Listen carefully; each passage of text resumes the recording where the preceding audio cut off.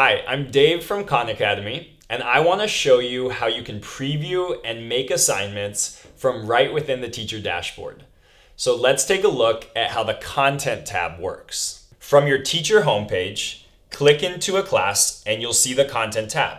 Scroll down and you'll see all the Khan Academy units for the subject you've assigned to that class.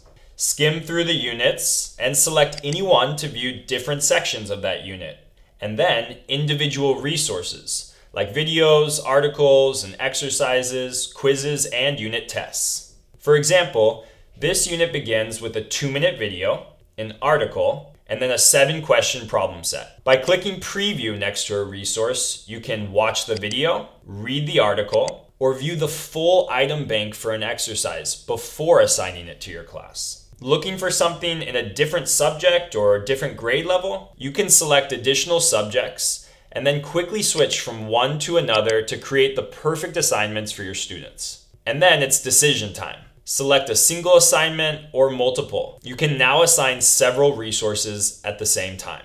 So select your assignments and then click Assign. Like usual, choose the classes, students, and due date for your assignments. Even though this is for period one right now, I could make these assignments to all my classes at once. Or I could assign them to specific students within my class. Then I either assign them to students immediately or I save the assignments to post later. Saved assignments will show up under assignments by clicking the Save tab. We hope the Content tab will make it easier for you to make the assignments that your students need. Check out the Content tab today.